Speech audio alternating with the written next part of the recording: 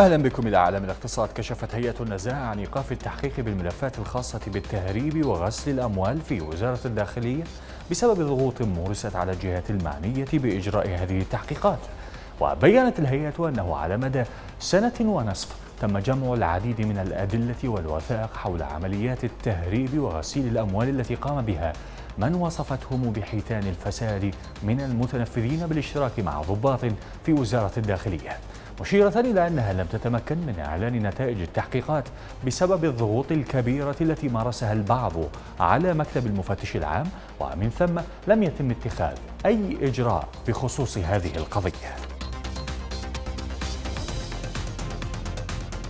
حمل النائب عن تيار الحكمة حسن خلاطي وزارة الإعمار والإسكان والبلديات والوزارات ذات العلاقة مسؤولية تلكؤ مشروع ماء البصرة وقال خلاطي إن مشروع ماء البصرة هو مشروع استراتيجي ويمكن أن يؤمن المياه الصالحة لأكثر من 50% من سكان المحافظة. مشيرا إلى أن الوزارات المعنية لم تتخذ الإجراءات اللازمة لمتابعة المشروع وسبل تنفيذه في الوقت المحدد له.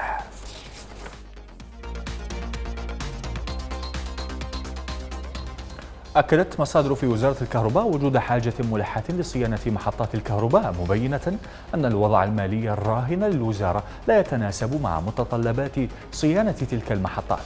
وأضافت المصادر أن المبالغ المخصصة لصيانة المحطات الكهربائية من الموازنة العامة لا تكفي لمتطلبات الصيانة من مواد كيميائية ومصاريف نقل طاقة مشيرة إلى وجود متطلبات بإلغاء تحديد صلاحيات صرف 15 مليار دينار شهريا فقط وتخويل الوزارة بس بالتصرف بأموال الجباية وفق الاحتياجات اللازمة.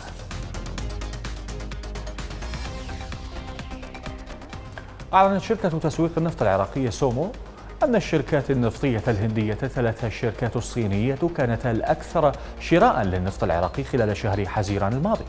وذكر السومو في إحصائية رسمية نشرتها على موقعها الرسمي أن ثماني شركات هندية اشترت النفط من أصل 39 شركة تقدمت بطلب للشراء خلال الشهر الماضي. وأضافت سومو أن الشركات الصينية جاءت بالمرتبة الثانية وبواقع سبع شركات تليها الشركات الأمريكية والكورية الجنوبية وبواقع أربع شركات لكل منهما. قال وزير النفط ثامر الغضبان إن تعليمات قانون الموازنة والعجز فيها عاملان يعرقلان تعيين خريجي الهندسة الكيميائية. واضاف الغضبان أن وزارة المالية لم تمنح وزارته الدرجات الوظيفية لخريجي الهندسة الكيميائية والبالغ عددهم 2440 خريجا بسبب ما جاء في نص قانون الموازنة. مشيرا إلى أن الأموال غير متوفرة لوجود عجز بالموازنة يقدر ب 21% يذكر أن صادرات النفط في العراق قد زادت بنسب غير متوقعة في ظل ارتفاع أسعار النفط العالمي مما أدى إلى ضخ مليارات الدولارات لخزينة العراق.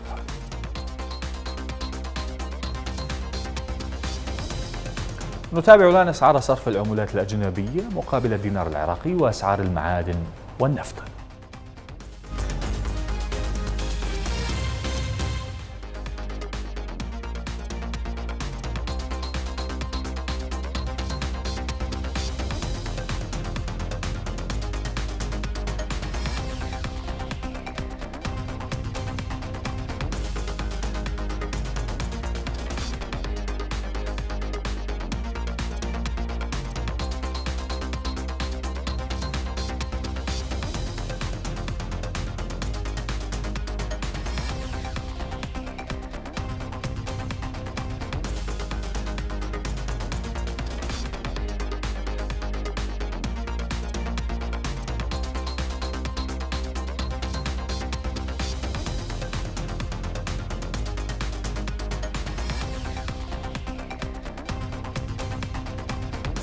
بهذا نصل إلى ختام أخبار الاقتصاد. شكرا للمتابعة وإلى اللقاء.